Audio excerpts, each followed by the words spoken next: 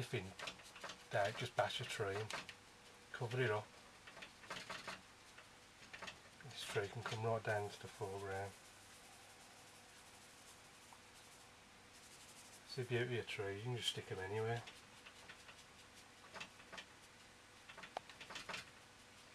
That covers up my uh, that mistake, bit of light red, change the uh, flavour. And then take fingernail, push down really hard at the bottom to get a nice big thick trunk and then just come up lightly as, it, as the branches get thinner towards the top. See more on this side. A bit dark, a bit of burnt umber, anything really, just something dark, burnt umber, ultramarine, nice dark colour. Just keep twisting your brush around, anything anything to help helps you get random random shapes that look natural.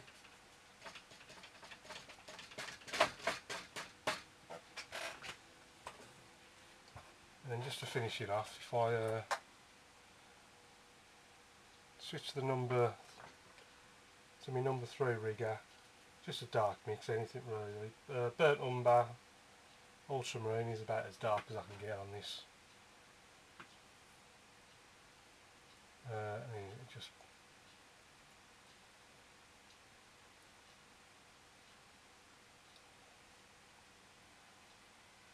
just a few more branches in the gaps.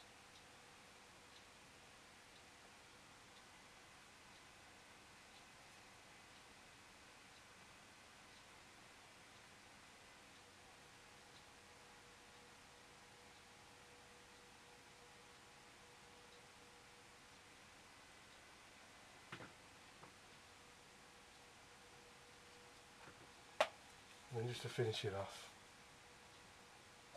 I'm just going to dry the uh, dry the eye brush. But just scuff it up like that as I'm drying it, so the hairs are going everywhere. So once it's nice and dry, like that, all scuffed up, just get your tree colours, whatever you've used, just a quick dab, and then just, just very gently Just a very light touch.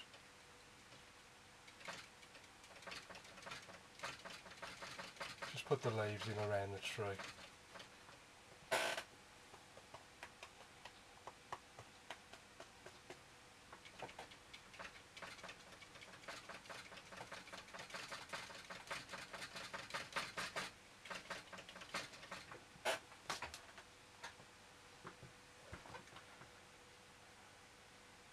And all that just to cover up that little mask. Never mind, it always helps. Bit of bit of foreground, it helps push the rest of the painting back a bit. So, so that's that side. Right, what am I going to do with this side? Um, there's a little bit of a foreground shore on this right hand side. That's uh, I've come a bit too far down the page now, but never. I can still just about get one in. So if I just start with a uh, raw sienna, burnt umber, bit of ultramarine, and then there's not too much to work with. But if I just quick sweep, and there's a bit of bit of grass on the top of that, so I changed bit of green.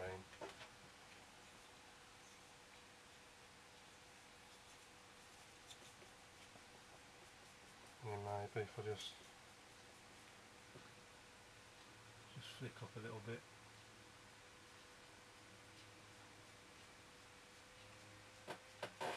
A few reeds and whatnot in the water. It's still it's still a bit bare so I might, I might actually put another, just a little bush or something over there to, what I'll do first, I'll, I'll use the uh, the hike. dark, darkish mix. I'll put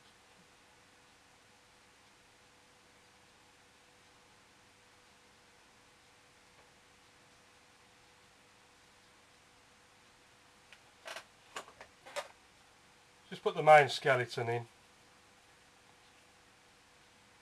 and then just flesh it out a bit with your rigger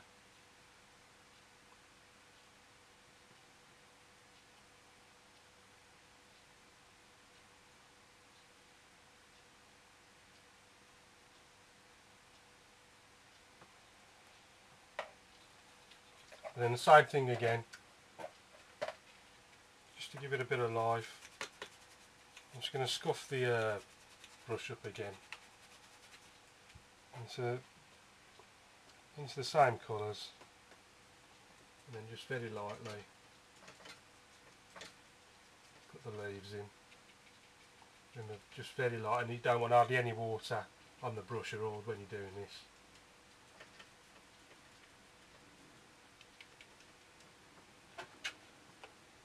and maybe just a bit of dark down the bottom and uh, wouldn't do any harm again just try and keep adding a bit more interest back to the card and just put a few more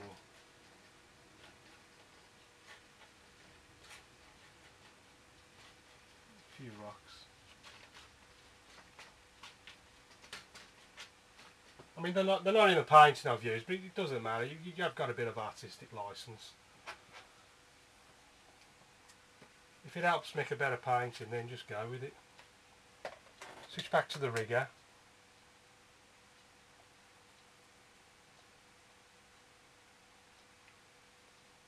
Pretty much any colour. Same colours I've used on the trees. Take the excess off on the uh, t-shirt and then just put a few birds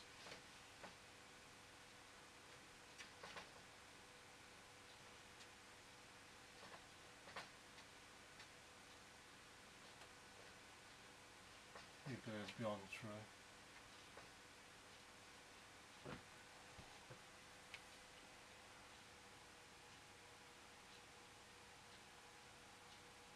I think I'll call that one done.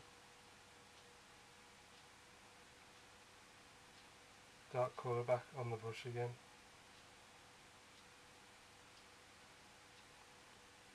Uh, and find somewhere to pop your signature. I'm just going to stick it down here somewhere I think.